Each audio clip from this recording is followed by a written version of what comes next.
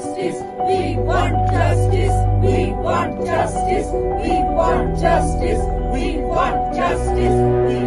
হাসপাতালে ডিউটিরত মহিলা চিকিৎসকের ধর্ষণ এবং খুনের ঘটনায় গোটা বাংলা উত্তাল প্রতিবাদে আজ রাজ্য ছাড়িয়ে সারা দেশ এবং বিদেশেও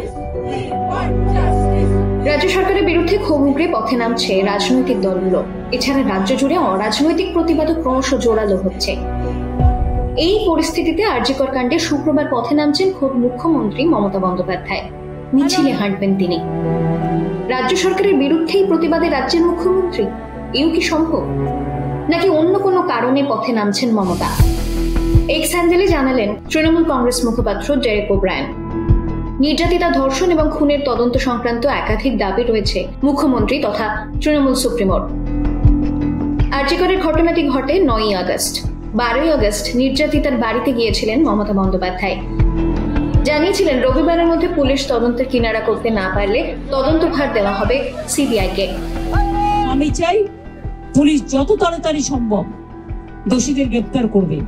আর রবিবার পর্যন্ত যদি তারা কুল কিনারা করতে না পারেন, কারণ ভেতরেও তো অনেকে আছে, তাহলে এই কেসটা আমরা আমাদের হাতে রাখব না, আমরা সিবিআই কে দিয়ে দেবো।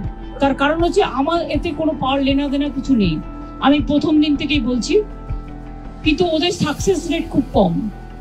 তাপসী মালিককে যখন খুন করে হত্যা করা হয়, ধর্ষণ করে, আজ পর্যন্ত বিচার হয়নি। পরদিন তেরো তারিখে হাইকোর্টের নির্দেশে মামলা তুলে দেওয়া হয়েছে সিবিআইয়ের হাতে। তারপরই মিছিলের কথা ঘোষণা করেন মুখ্যমন্ত্রী। কি দাবি মমতার? ডেরেকের টুইটে তিন দফা দাবির উল্লেখ রয়েছে। প্রথমত, প্রতিদিন সিবিআইয়ের তদন্তে কি উঠে আসছে তা জানাতে হবে।